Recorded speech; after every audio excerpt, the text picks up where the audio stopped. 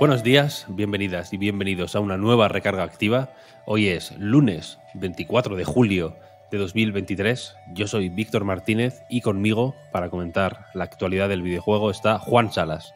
Hola, hola, Juan. Hola Víctor, ¿qué tal? Muy buenos días. ¿Cómo estás? Yo estoy muy de lunes, ¿eh? debo reconocerte que estoy bastante de lunes. No tanto como esperaba. Hoy es más lunes de lo normal, ¿no? Hoy es de, de lunes, de hecho, sí, sí, sí. Es un lunes potente. Si escribes eh, la frase hoy es lunes, hoy, lunes sale más grande. Sí, ¿no? Como que sí, sí, sí. tipografía. Times New Roman está todo en 12 y el, el lunes está en 15 o en Y 16. si, lo- si lo haces a mano, seguramente sale más tinta del boli cuando llegas al lunes para marcarlo bien. Sí, sí. El, mm, es magia, es una cosa, es un fenómeno que se produce sin que, bueno, sin que tengas tú el control, ¿no? En realidad. Mm, sucede, sucede. Es lo que es lo que pasa. Aparte de todo lo que ha pasado este fin de semana, que no es poco. ¿Viste lo de PlayStation? O sea, lo de PlayStation no, lo de Project Q. Sí, sí, sí. Bueno, de hecho, el- creo que el, el tweet original, este vídeo que parecía medio un leak, creo que lo pasé yo por el grupo de Line, me parece. Mm, sí, sí. Y, y estuvimos comentando, ¿no? Con cierta, voy a decir estupor, estupor igual no es la palabra, pero con cierta sorpresa, ¿no? El, tanto la filtración como lo que se veía, ¿no? Se llegó a comentar que no deja de ser un DualSense eh, abierto por la mitad y con la pantalla de medio, pero bueno, eh, sorprendente, sorprendente. Yo te voy a decir que tengo una atracción mórbida. A mí me gustan mucho estos, estos accesorios. Lo siento, sé que me dirán, ¿no? En plan, bueno, pero bueno, ¿qué- ¿qué dices? ¿Qué dices, no? O sea, ¿qué dices? Loco. Cállate, ¿no? Cállate, por favor, no, no te hieras más de esta manera en público. Pero es que te- siento una, es una atracción eh, animal Mm. por este tipo de, de inventos, ¿sabes? Entonces, Sí, los, los cachivaches de ese tipo, ¿no? Ah, bueno, Me encantan Igual los lo voy a probar dos días, pero lo quiero probarlo. Y luego quiero tenerlo ahí y abrir un cajón de pronto y verlo y decir, qué buenos momentos. Dentro de 15 años. Qué, dos buenos momentos.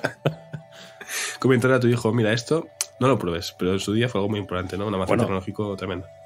Yo con mi hijo, el otro día estuve haciendo limpieza de, de la- la habitación donde trabajo, vaya, y, y co- bueno, mi hijo está de, está de vacaciones, entonces lo hago todo con él, ahora, claro. Ujú. Estaba yo sacando todo de los armarios, de los cajones, tal. Le paso un paño una vez cada X tiempo a, a todos los chismes que tengo, que no son pocos, déjame decirte. Ujú. Y me encanta ir enseñándole las cosas, ¿no? La Game Boy Micro. Ojo. Tal, eh, bueno, el- estábamos. Y ya, ya, ya empieza, ¿eh? La recarga, gente, no os preocupéis, ahora, ahora mismo empieza. Estábamos, le enseñé, mm, pues bueno, una Game Boy Advance, una Game Boy Micro, la Nintendo DS, la 3DS. Papi, pero si son iguales. Digo, no, hijo mío, no. no Si te tú confundas. no te equivoques. la PSP, la Vita, ¿no? La, tengo todas las Xbox aquí expuestas. Me, me gusta. Esto- o sea, entiendo ese ejercicio tan bonito, pero para mí está siendo duro que lo que ha sido mi infancia, preadolescencia, de repente sea todo retro gaming. O sea, me siento muy mayor de Bueno, repente, Víctor. Para mí, claro. Para mí es. eh, yo estaba combatiendo en la Segunda Guerra Mundial cuando, cuando tenía la Game Boy Advance. Claro. El tiempo es que funciona de esa manera, ¿sabes? Para ti, para ti es, es, una- es tu adolescencia y para mí es la Segunda Guerra Mundial. Claro, y la cosa es que luego- La portátil. Y, luego, y la cosa es que luego este fin de semana hemos estado jugando al Pikmin 4. Ujú. Y en el Pikmin 4, uno de los. va de recoger mierda por el suelo, básicamente con los Pikmin, ¿no? De recoger tesoros, dicen ellos. Y mm, ayer estábamos en una caverna de estas que hay en una gruta subterránea y encontramos una Game Boy Micro, precisamente. Y los Pikmin ahí la recogieron y mi hijo se volvió loco. Plan, Esto. Papi, esto es lo que tú tenías en tu, en tu habitación. Realidad Este- aumentada. Es esto. Increíble. La magia de los videojuegos.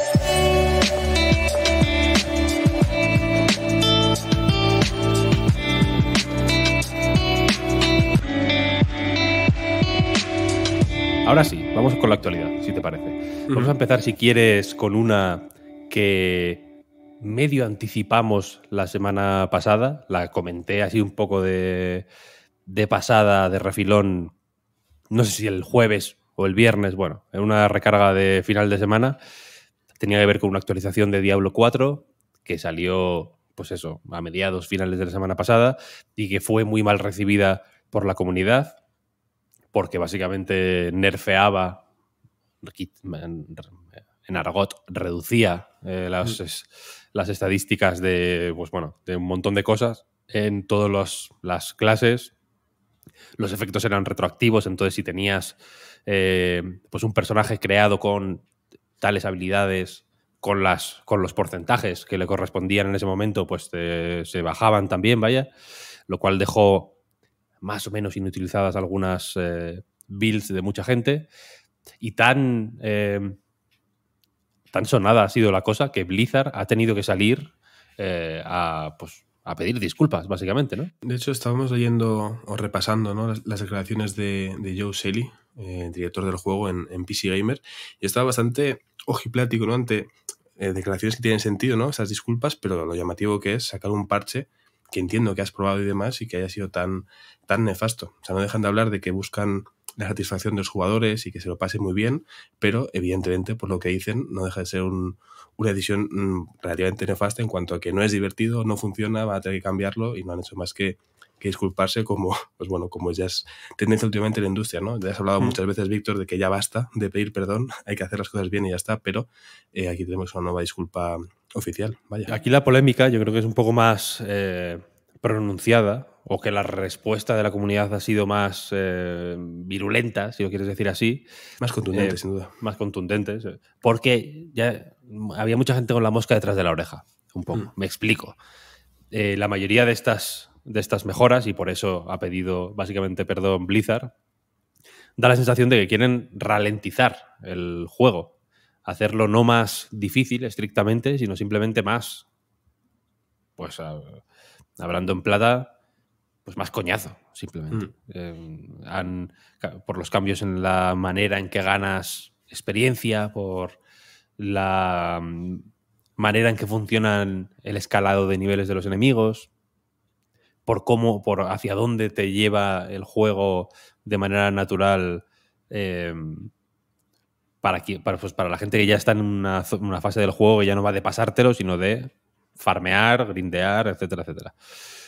Y, y Blizzard ha reconocido, de hecho, en este vídeo que publicaron el, pues, ayer o antes de ayer, que este parche es una respuesta al hecho de que la gente estaba eh, completando el contenido, vaya, demasiado rápido. Entonces, básicamente eh, necesitan eh, ralentizar la cosa.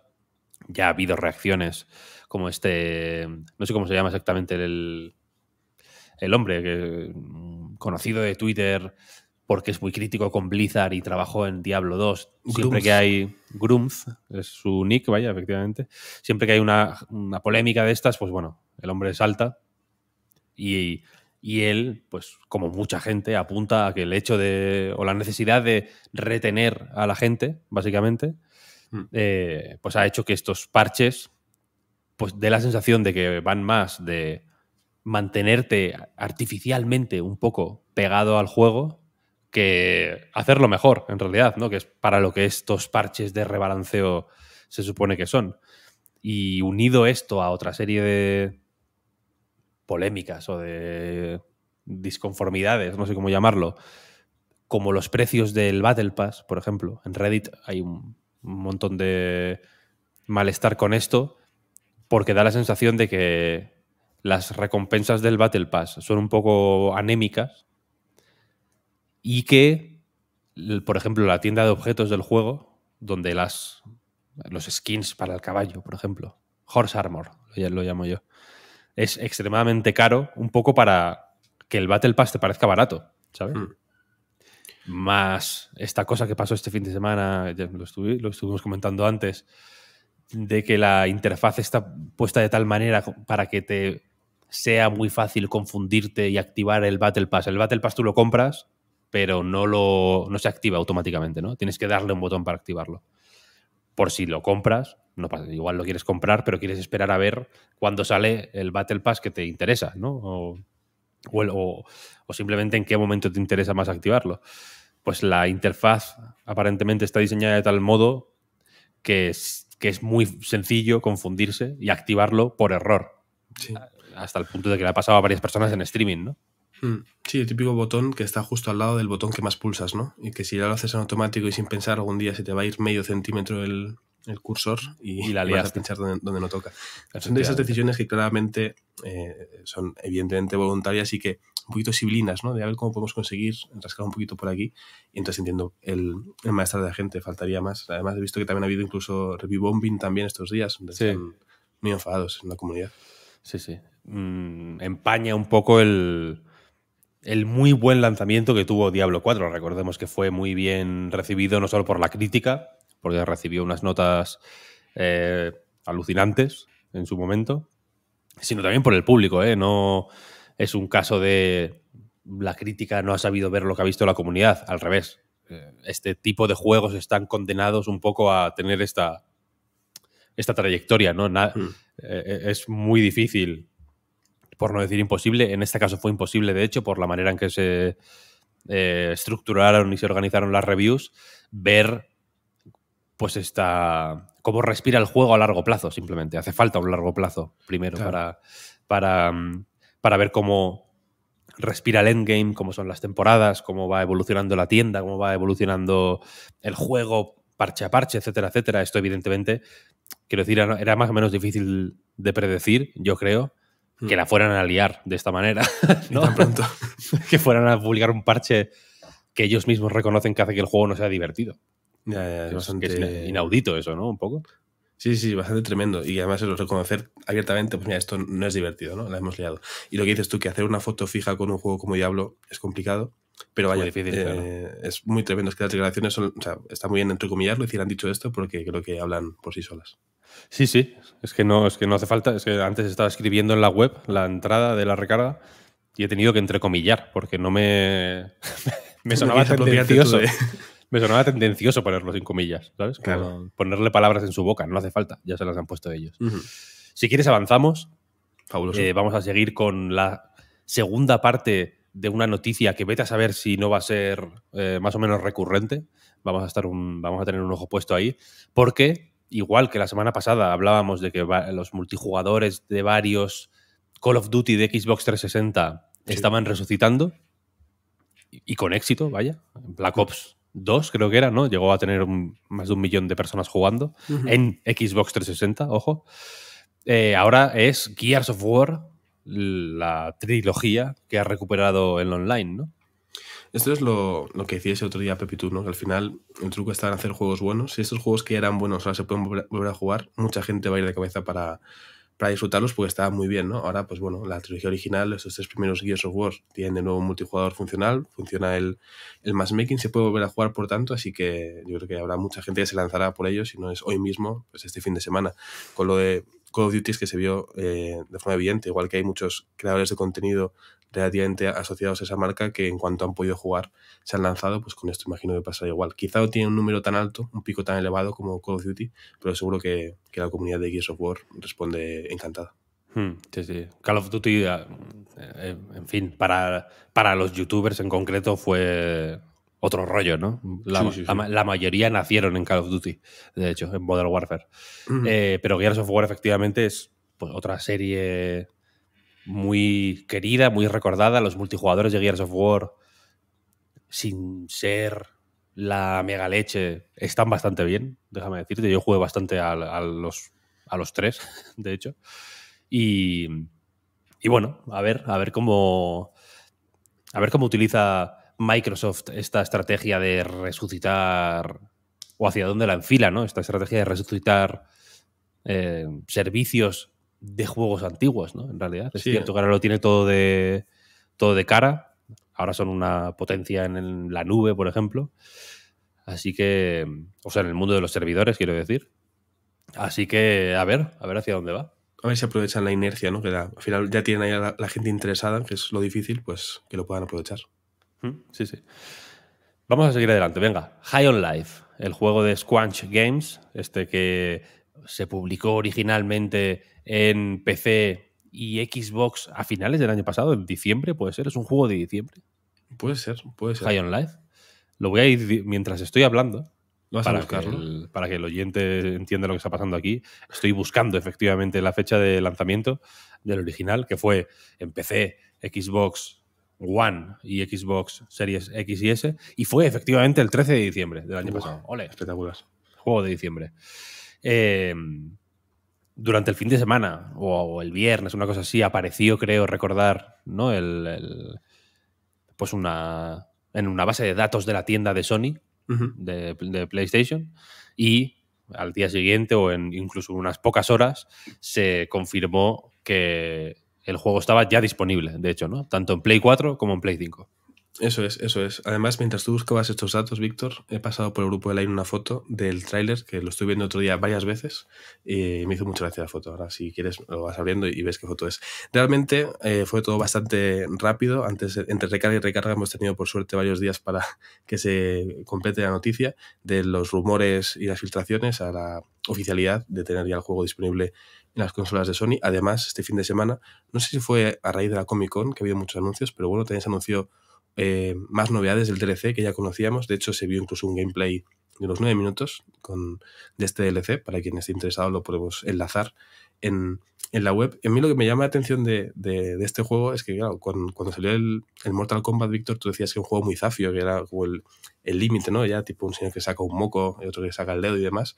Pero es que High on Life es eso eh, elevado al cubo, por lo menos, vaya. Pero fíjate, me, me, me, parece más zafio Mortal Kombat. No sé por qué. En términos relativos, igual. No, porque el estilo, el estilo de juego encaja mejor ese tipo de cosas, ¿no? En High on Life. No lo sé, no lo sé. Me parece más zafio Mortal Kombat que, que yo qué sé, que Postal 2. Una cosa así, muy zafia. Este es zafio, evidentemente, y es, muy, es un juego muy mal hablado y demás. Pero no sé, lo veo menos vulgar. No sé cómo decirlo. No sé cómo decirlo. sí, entiendo, entiendo, entiendo, el matiz, entiendo el matiz. Hay un matiz ahí, hay un matiz ahí. Vamos a ir con los lanzamientos de la semana. Es una semana engañosa, ¿no? Porque parece que no hay mucho movimiento Mm. Pero el movimiento que hay. Es ojito. Ojito, ¿eh? Porque mañana mismo sale Remnant 2, la secuela de Remnant 1, ¿no? como, su propio nombre indica. Remnant from the Ashes, creo que era el original, un Souls-like con pistolas, básicamente. El original está bastante bien, déjame, déjame, decirte. Y este pinta muy guay. Ya lo están promocionando como que es tan grande que, que incluso que los playtesters, incluso después de jugar 400 horas, no lo habían visto todo. Ostras. Mm, no sé, contraproducente este tipo de publicidad. Sí, sí. Usted saber. Pero ahí está. Yo le tengo muchas ganas, la verdad, te lo, te lo, confieso. Sí, eso, eso ya me parece un dato importante y que sea la secuela directa también, que luego a veces hay unos jaleos con la numeración que nos podemos perder, así que me parece muy bien que después del 1 llegue el 2. Y luego el 3, ¿no? Ojalá, si, si, este, si este va bien. Si este va bien, que, que, yo creo que va a ir bastante bien este juego. Mm, ojalá, Tenedle un ojo puesto porque yo creo que va a funcionar bien. Luego, 26 de julio, el día siguiente, sale en PC Ratchet Clank, una dimensión aparte, este juego también tiene cierta... Dudo que funcione muy bien, quiero decir, dudo que lo se compre de forma masiva, pero sí que tiene mucho interés, yo creo, por ser port de un exclusivo de PlayStation 5 y de uno de esos que se promocionaron como eh, el SSD de PlayStation 5 es súper importante, ¿no? La auténtica Next Gen, etcétera, etcétera, etcétera. Hay, es un terreno ahí bien disputado, yo creo, tenemos que tener un ojo puesto en este. Sí, es el típico juego que va a hacer que muchos vayamos a ver el vídeo de Digital Foundry, que luego estemos comentando qué tal funciona el rendimiento y sobre todo que después de lo que pasó con, con The Last of Us y otros ports a, PC, pues bueno, a ver si este sale bien, ¿no? El de Spider-Man creo que salió bastante bien, si no me equivoco. El de Spider-Man es buenísimo. Pues a ver si este sigue esa línea. Y este lo hace Nixes también, que es el estudio que hizo el de el de, el de Spider-Man, de hecho, ahora propiedad de Sony, etcétera, etcétera. En fin, que es un port que creo que tiene bastante que decir, vaya. Puede llegar a buen puerto, vaya. Ojalá, ojalá. Al día siguiente, 27 de julio, dos lanzamientos. Por un lado, Double Dragon Gaiden Rise of the Dragons. Ya sabéis de qué va esto. Yo contra el barrio. Pam, pam, pam. Piki, piki. Pum, pum. Onomatopeyas de golpes, ¿no? Esto va de pegar a todo el mundo. Muchos golpes. Muchos golpes. Y sale también Koa and the Five Pirates of Mara, que es el nuevo juego de Talpa Games con Chibig. Chibig son los de Summerin Mara, etcétera, etcétera, el Maraverso. Y Talpa son los de Mail Mole, un juego de plataformas protagonizado por un topo que por aquí gustó mucho. Y Koa básicamente es eh, pues una continuación de esa filosofía de diseño de plataformas con eh, mucho énfasis en el speedrunning, etcétera, etcétera, ambientado en el universo de Mara. Mm. Sí, parece además una, un crossover, ¿no? Una mezcla bastante natural y que funciona muy bien, la, de estos estudios. También tuvieron un Kickstarter eh, hace unos meses que también fue bastante eh, bien, se les fue bien a, estos dos estudios. Y, el juego, bueno, creo que no, que no pasa nada si decimos que lo hemos probado ya en la redacción unos cuantos. Eh, y que además el jueves, el día del externo, vamos a estar en, en, las oficinas de Nintendo en la presentación. O sea que bueno, a tope con este, con este lanzamiento. Sí, yo me lo he pasado ya y me ha gustado mucho. Solo, solo diré eso. Y luego, el, ah, bueno, el mismo día 27, de hecho, que es el jueves, Return to, Monkey Island, la última entrega, el regreso de Guybrush Threepwood, sale en móviles, en, tanto en Android como en iOS. Es un juego muy divertido. Mm. Este te lo metes por el culo en verano. te, quedas más cuenta, ¿no? te quedas más a gusto que Dios. No hay. Pero ya, ya te lo digo yo. Ya te lo digo yo. Yo es que en móvil, como bien en la gloria. Solo juego a cosas de, Netflix, entonces eh, ya. veré a ver qué hago con esto. Ya, bueno, bueno. Habrá que ver, habrá que ver. Yo te lo recomiendo. Porque entonces lo, tendré en cuenta. Es un juego divertido, divertido, bien escrito, gracioso, inteligente. Muy guay. Y, los piratas en verano entran muy bien, eso es verdad. Y estos más, y estos más. Y ya, hasta aquí la regla activa de hoy. Muchas gracias, Juan, por este ratillo. A ti, Víctor. Muchas gracias a todo el mundo por escucharnos una semana más. Muchas gracias a todos por escucharnos en lunes, en este lunes, en Times New Roman 16 TT. Punto. Eh, y mucho ojo a patreon.com barra a night reload si nos seguís, o sea, si nos, si nos apoyáis allí ya. Si no, echadle un ojo y si os apetece, echadnos unos eurillos. Porque aparte de que tenéis ahí pues, ¿qué os voy a decir yo? Millones. Millones, asterisco, no son millones. Son pueden ser cientos, pero no son millones de contenidos que podéis disfrutar durante el verano. Esta semana sí que sí sale el podcast a hablar. Eh, que Juan, creo que tú ya sabes qué música tiene y todo. Sí, hemos tenido alguna otra filtración, pero no puedo hacerla pública, la verdad. es muy extrema, ¿eh?